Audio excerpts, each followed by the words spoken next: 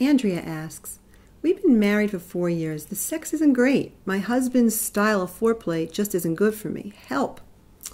Well, Andrea, the real question is do you think he's doing it on purpose? Look back. How was your sex life in the beginning? How was it going? Do you remember it feeling really nice in the first six weeks of your relationship? When you focus on that, then move to the present.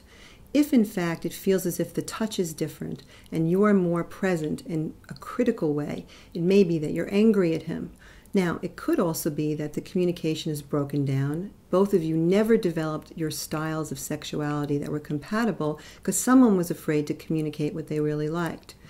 Go back, think it over, and try once again to speak with your partner of course, always seek the help of a sex therapist if this isn't going well. But there are many books on the market that can help you once you get past what's blocking the two of you. Is it anger? Is it anxiety? Is it fear?